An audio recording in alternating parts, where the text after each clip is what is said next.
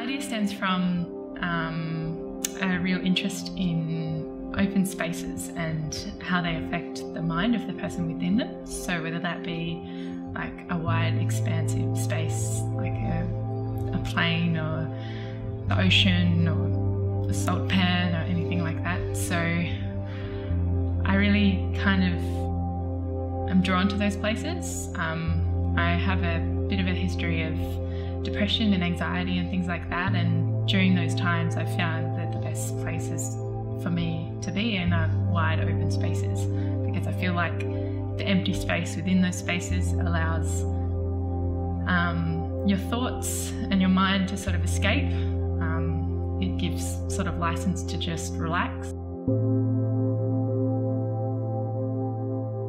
Prisms really interest me because of the way that they change light.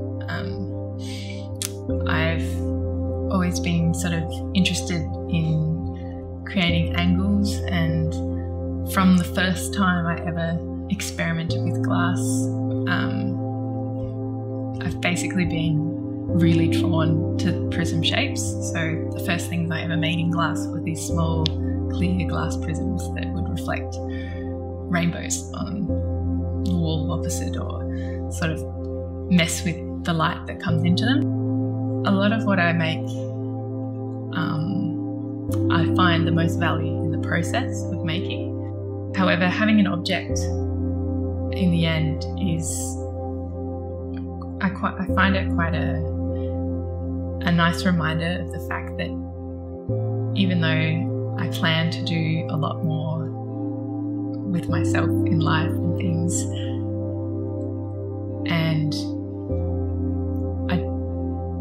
might have high expectations and not actually meet them, at least I have a material object to show that I have done something. And that's really, it sounds a bit weird, but good for my self worth in a way.